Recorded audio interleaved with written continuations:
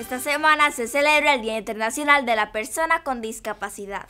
Sí, el 3 de diciembre. Esta fecha se celebra desde 1992.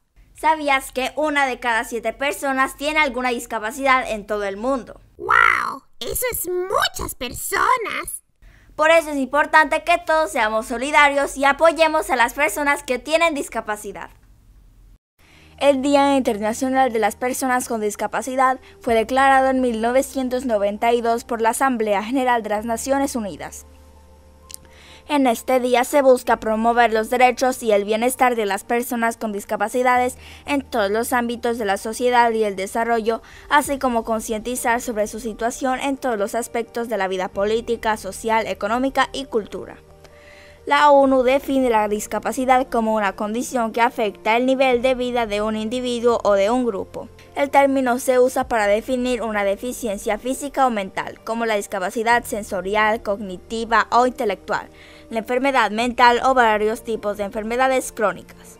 Más de 7 mil millones de personas poblamos hoy el planeta y se estima que mil millones tienen algún tipo de discapacidad, de ellos el 80% de ellos viven en países en los que hay altos niveles de pobreza.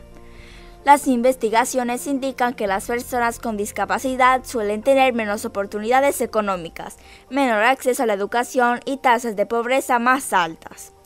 Eso se debe principalmente a la falta de servicios que les pueden facilitar la vida, como acceso a la información o al transporte, y porque tienen menos recursos para defender sus derechos.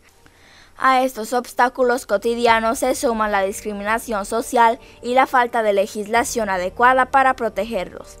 ¿Qué podemos hacer los chicos y chicas para ayudar a solucionar esto?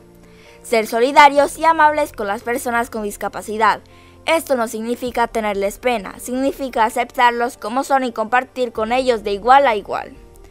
Interesarnos e investigar sobre la discapacidad, los tipos de discapacidades que existen y la situación de las personas con discapacidad en nuestro país. Apoyar las instituciones que ayudan a las personas con discapacidad. En el país hay varias de estas instituciones que suelen hacer actividades para recaudar fondos para atender a las personas con discapacidad. Siempre apoyemos con nuestras familias esas actividades de recaudación de fondos.